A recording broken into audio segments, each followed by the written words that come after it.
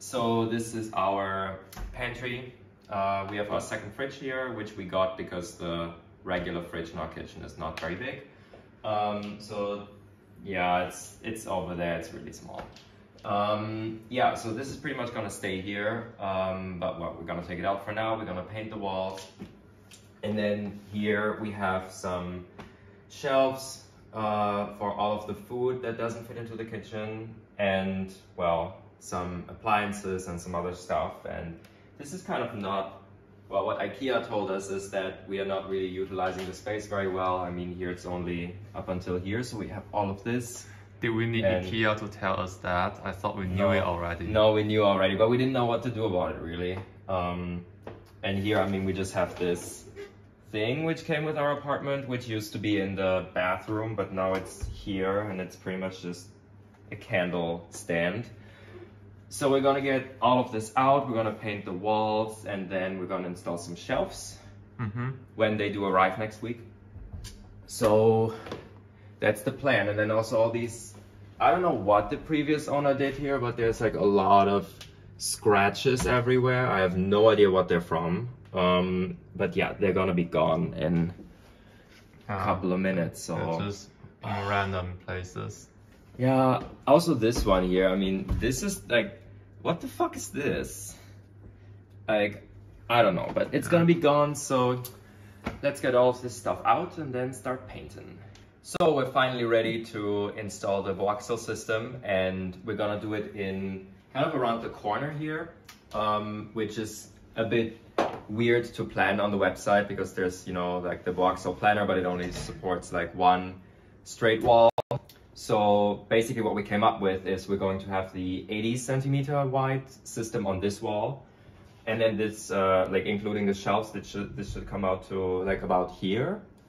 And then we're gonna have the 40 centimeter system on this wall here. So we want to start with the 80 centimeter system and there's uh, like some handy videos online um, about how to install this, but the IKEA, IKEA's own one, like, I don't know, there's, I feel like there's kind of some unnecessary steps in there. So we're gonna try to streamline this process. And um, I mean, the first thing is you need to screw this thing onto the wall. And uh, for this, we need to measure out the height. Um, IKEA recommends uh, this rail that will support the shelves on the left and on the right to like hover at least like 15 centimeters or so um, above the ground. So what we're gonna do is we're just going to put this like against the wall so that it sits at about a 90 degree angle and then we're gonna measure 15 centimeters on top and then we can mark the place where this is gonna go. You just take this thing, I'm just going to leave like a couple of uh, millimeters on this side because otherwise we need to like drill really close to the corner and I don't know, I don't like that and like we have to go in a weird angle and stuff with our uh, drill. So yeah, we basically just need to kind of mark the kind of mark the middle point. And this needs like so many screws. Like this will be probably like 30 minutes of drilling uh, because this needs five and then the rails need like eight each. It's gonna take forever. Um, so yeah I marked the position of the first hole that we need to drill. Uh, and then yeah need to drill it Yay. A word on these screws. So it took us so long yesterday to figure out which screws we need um, because the manual doesn't really make that clear at all. They just say that uh, for the top bar you need screws that have a like it seems like a diameter of less than seven millimeters, and then for the thing, things on the side you need to have screws with a diameter less of eight millimeters. But- Equal to actually. I mean, Yeah, according you're to right, the manual. equal. Yeah. Yeah, equal to seven or equal to eight millimeters.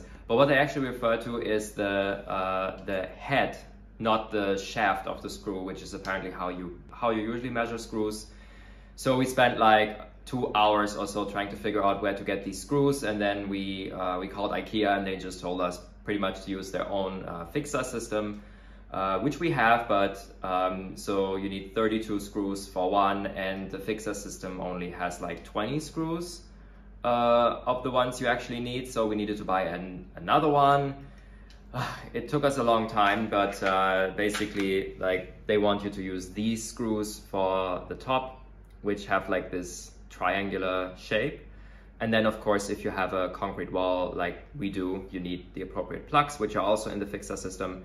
And then the, the hole that you need to drill is a bit longer than this plug. So according to the FIXA manual, um, this screw needs this six millimeter plug, uh, which requires a six millimeter drill bit, which is not included with the IKEA drill, by the way. So we had to go out and buy these.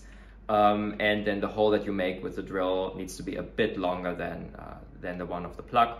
So actually you can maybe like tape that out on the drill bit or like, I don't know, use some paint or something to like indicate how deep you have to go because it's always difficult to tell while you're drilling. So that's what we're gonna do now. We're gonna uh, just indicate how much we have to drill and then get drilling. Now what we have to do is to level this out and uh, just indicate where we have to drill the other like four holes on this one. And if you're like us and you don't have a spirit level, but you do have an iPhone, you can use the Measure app that comes pre-installed. Because that actually makes for a for a pretty good spirit level. Let's try and get this like really, really aligned. I'm actually not sure if we need to use, ah, I think we need to use these holes. Okay, this is really confusing because it has like more holes than you need. Sometimes I'm just like, why IKEA? And now according to the IKEA like video, you're just supposed to take this down again, but you can also just like rotate it away a bit to drill the other like holes. I think that's way more convenient. Mm. So we're gonna do that. So drill again. So now that we're done, we can just, um, I'm just gonna vacuum out all the stuff. Um, and then we're ready to go. Like, well, ready to hammer in the plugs and get this level again. Yeah. And proceed to the next step. Yeah. These IKEA plugs are, by the way, also not the greatest. I have the feeling that um, they're very brittle at the top um, because the top ring is only held in place in like one, two, three, four positions or so. So I have the feeling that they that the tip like deforms and breaks off quite easily. But uh, well, again, we couldn't really figure out what other screws to use um, thanks to IKEA. So we'll just have to make do. Okay, so I'm using the measure app again to make sure that this is level. And now I'm gonna insert the first screw. Okay, next screw. Okay, I only loosely fixed them and now just fix them all the way. So we're now ready to hang these two meter long rails on the very left and the very right. So let's do that. And now we have to hook these triangular shelf holders into the rails. So at the very top and at the very bottom. So now we install two shelves uh, where we just put the shelf holders. Um, it's a bit confusing because if it's, it's of course just a white rectangle, but basically this hook, um, that one goes like towards the wall and this one is at the front. So let's do the top one first.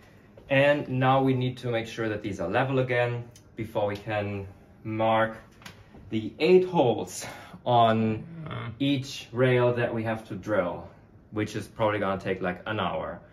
Um, yeah, so let's get the measure app ready again. This looks good. yeah. And Nice. here at the bottom, Oh, great. looks looks good as well. So you already see kind of where um, we have to drill, but now uh, it's actually more difficult to make a mark here. So maybe we can just get a marker with a felt tip. I think that will be easier to read then. Uh, let's just get that one.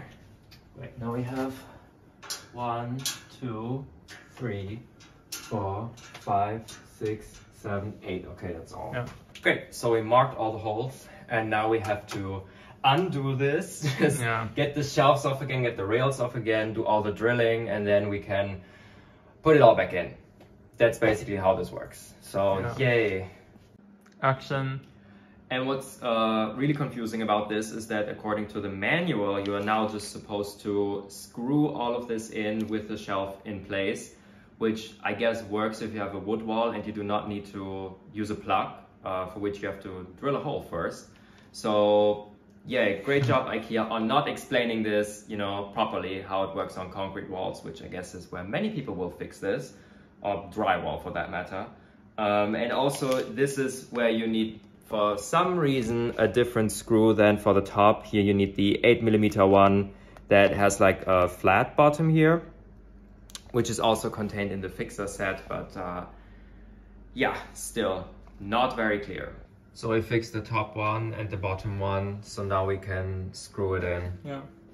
So we picked up our new FIXA set from Ikea, so now we can continue with this shelf on this wall. And the difficult thing is that, well, we're doing it around the corner. We have this system already in place, and now we need to make sure that this one is exactly at the same height as this one and at kind of the proper distance, um, so that, you know, there's no gaps in between the shelves or very tiny gaps between the shelves and that they are at exactly the same height. So we first try to figure out um, what the distance needs to be between this system and this system. And we basically decided that uh, this system will kind of end where the shelf from this one begins. Uh, so this is exactly, you know, where the top bar needs to end. And then figuring out the height was a bit difficult because we're now not so sure if our ceiling and our floor are even um, because we we measured the distance, you know, from the ceiling to well, from the ceiling to this, and try to match it here, and then from the floor from the floor to this, and try to match it here, and we arrived at kind of a, you know, couple of differences. Like it's just a couple of millimeters, but it's a bit weird. And then we used a like just a tape um, along the wall, along the upper part of this rail around the corner to kind of guide us to the um, to where it needs to be. And we think we have figured it out where it kind of needs to be, but uh, we'll see if it's gonna be at exactly the same height. But I think this is like with all these different ways of measuring it, I think we arrived at what is probably the best overall solution. So now we need to drill again um, and then fix this top bar.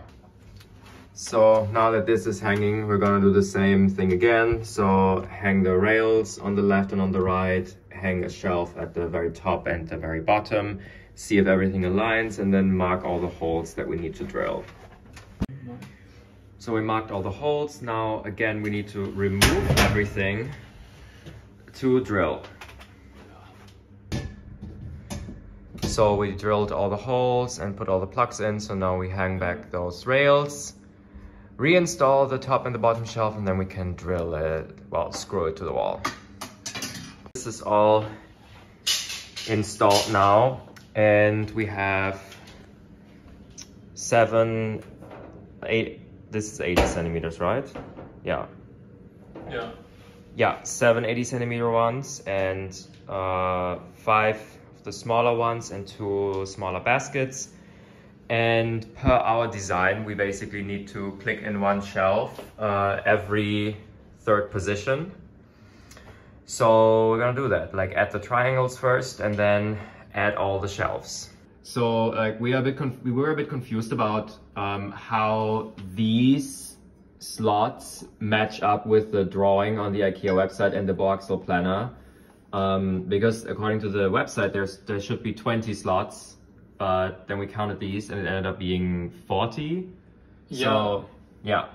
Yeah, that just means uh, one slot is uh, two, uh, well, one slot according to IKEA is two slots on the system here that you can see. Every two because uh, every one of these takes up two slots. So in total, yeah, there are 20. Or in total, you can fit 20 of these. Yeah, thanks IKEA for making that so clear. Uh, I mean, it's okay. So one, two, three. So okay. This is the next one that we need to. Nice. Oh, and uh, they are really difficult to get in, so we started hammering them. But if you hammer on these things, like the coating comes off really easily. I'm gonna show you the picture. Like, just show it. Like, it's yeah. crazy. We weren't even hammering really forcefully. Yeah. See, I got it. Great. So uh, yeah, we ended up just putting the Boaxel manual on top of the slots to protect them while hammering them into place. Some are easy and some are quite difficult. It's quite random. So some production randomness, I guess. See the this support Ah. beam. I don't know how to call it. Yeah, it's, it's it, it, it shakes. So Uh, this is also what people say online. So we now hammered in all the triangles on this side and now we can use this side as a template for that side. So we now placed all the triangles and we're now just going to insert all the shelves. Um, so I think it's easier to probably do like what, like left, left, like left, right, left, right, left, right, left, right. Um, just be careful because now there's just like a thousand triangles which could stab you in the eye. Um, so yeah, be careful. Okay, then I revise what I said earlier. We're gonna do right, left. Ah, the, the, the pin is bent a bit here. hmm. No, now this side is out again. wait. Wait, Uh, no. uh, uh, uh, uh, uh, Oh. This get in the way. Yeah.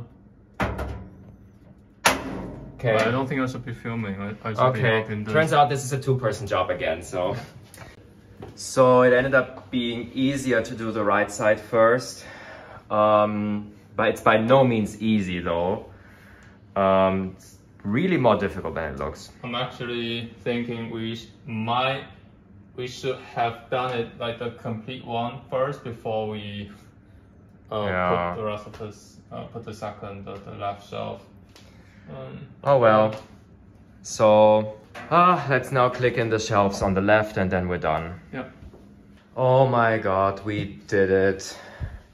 This was surprisingly difficult, like such a pain in the ass. And you can also see that we didn't manage to get this level out completely because the weird thing is also that it it is completely at the same height at the back, but then not at the front. Yeah, I think that has to do with um, the shelf. I think it leans a bit forward um, because um, so with this uh, bar, this uh, vertical support bar, on the top it's placed on top of the horizontal Yeah. bar, so that makes it a bit um, forward than the well the bottom Which is just screwed to the wall. bar. Yeah, exactly. Yeah. So So that's something to keep in mind. And we could have, in hindsight, placed this a bit, like place this uh, bar a bit more to the right, then this would be actually flush, but this is good enough.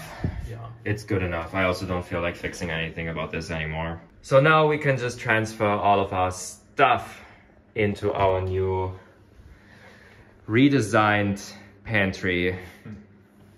So this was our pantry renovation using the IKEA Boaxel system. Uh, I think it went pretty well overall. Um, just, yeah, it's definitely a two-person job. I think doing it, you know, just with one person is kind of dangerous. Um, so if you want to do it, then uh, make sure to have a friend there with you, doing it together with you.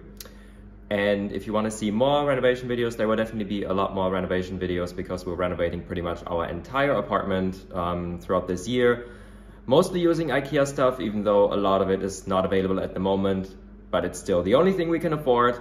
Um, so yeah, be sure to subscribe to our channel if you want to see more of us and more renovations videos. And we'll see you in a new video very soon.